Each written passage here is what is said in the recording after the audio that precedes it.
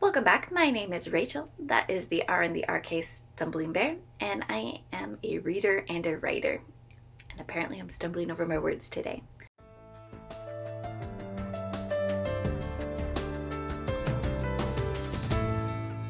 But welcome back to another weekly wrap up. I believe this is the second week of June. Jumping in with the reading wrap up.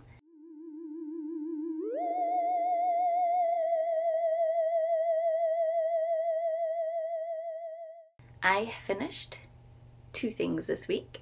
I first finished Fence Volume 5, and this is a contemporary queer story about fencing. And I love it. I think that it is super sweet.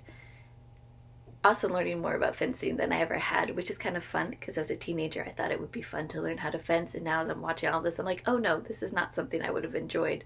But it is fun learning about it now.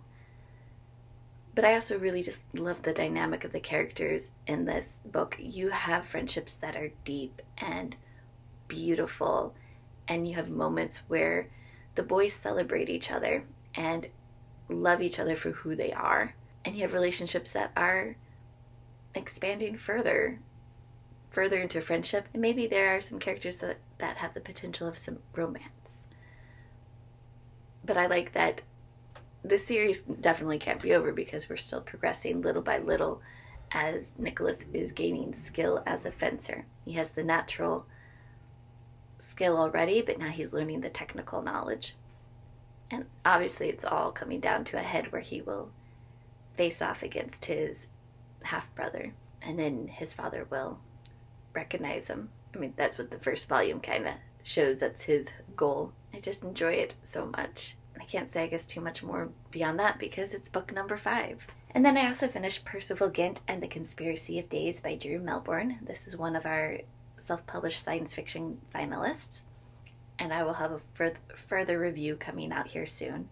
But this is a wonderful sci fi adventure space opera romp with magic, and the sense of humor in it is what I would call absurdist, kind of in the vein of Terry Pratchett and Douglas Adams.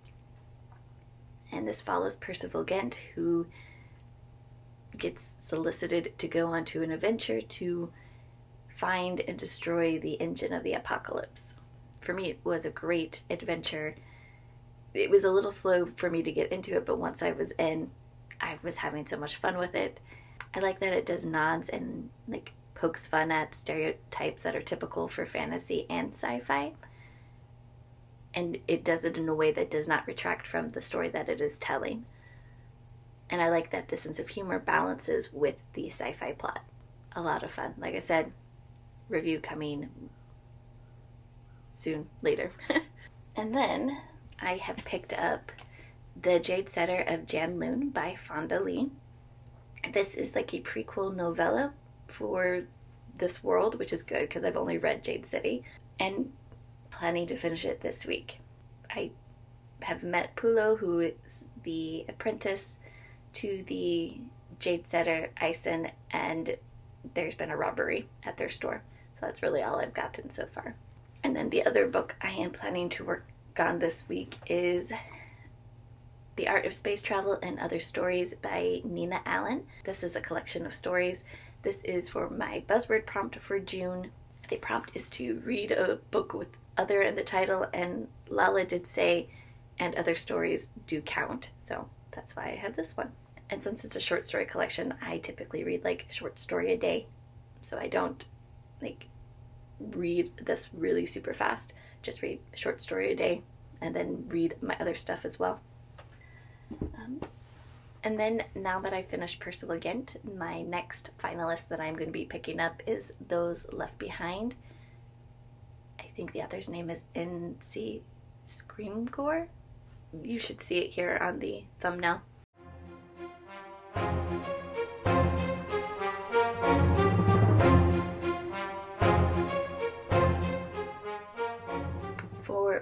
Writing wrap up, I had started to write an application for a volunteer position and then decided not to. So that's all the writing that I've been doing. though I do have the desire to write and am daydreaming every day. I would like to participate in July's NaNoWriMo, but we'll see. I, I hold no promises here.